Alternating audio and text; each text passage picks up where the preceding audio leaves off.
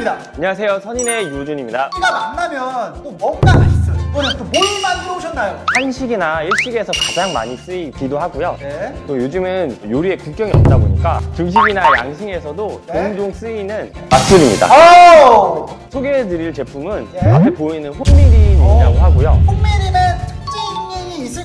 전통주에서 많이 쓰는 천연 누룩을 사용했고요. 오. 발효 후에 3주간 네. 4도씨 이하에서 초저온 숙성을 해서 3주 동안 기다렸다가 네, 기다리고 또 기다려서 깔끔하고 네. 풍부한 풍미가 특징이에요.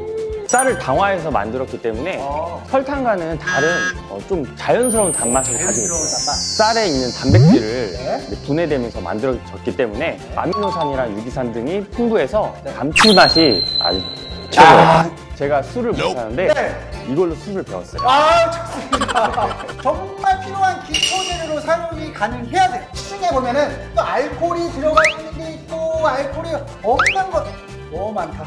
정리를 좀 해주세요. 맛술은 크게 보시면 두 종류로 나눌 수 있는데요. 네. 어, 혼미린처럼 알코올이 들어있는 것과 네.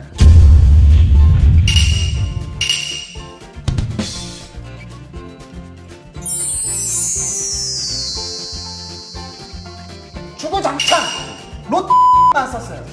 이걸로 됐어요. 모든 걸 바꿨습니다. 근데 의심이 많잖아요. 그래서 바로 돼지 뒷다리살입니다. 이거 어떻게 처리 좀 해보세요.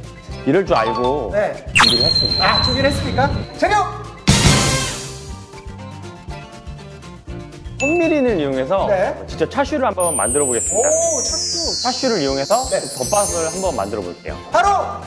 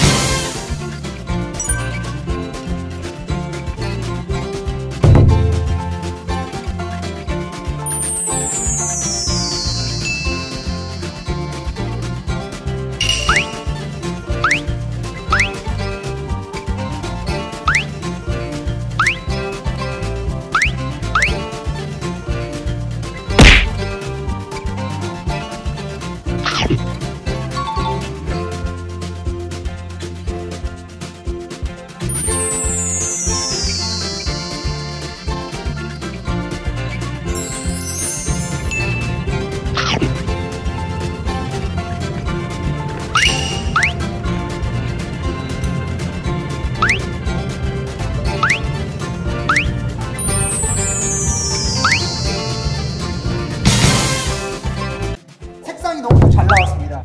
아, 어, 냄새 너무 좋아요. 와, 음. 이 부들부들한 역할을 미리미 할수 있는 겁니까? 단맛. 이거 설탕 들어왔나요? 설탕 1도 안 넣었어요. 달달하다. 네. 중요한 거 있죠? 감칠맛. 음. 막 땡기는 거잖아요. 저 지금 엄청 땡겨요. 어, 이거 놓으세요. 아니요. 근데 이 소재 응축도 미림을 쓰면 제가 봤을 때 이 자연스럽게 재료를 뭔가 하나로 어울려지는 네.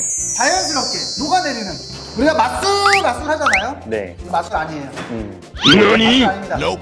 이건 마술이에요. 아, 마술입니다. 더 놀라운 사실은 네. 가격이 궁금하실 텐데요. 판매가가 네. 3,500원입니다. 그렇게 싸요. 여러분 빨리 데려가시죠. 정말 확실한 제품 홈메리를 소개해 드렸습니다. 제가 다 듣는 이가 있어요. 네. 곧또 하나의 획기적인 상품을 또 하나 갖고 오실 거잖아요. 국내에서 아직 이런 걸 출시를 한 적이 없는 걸로 알고 있습니다. 아 그럼 국내 최초. 자 그때 한번 또 저희 또 다시 뵙는 걸로 하시고요. 네. 구독, 좋아요, 좋아요. 알람 설정까지. 자 다음 시간에 또 뵐게요. 안녕. 안녕.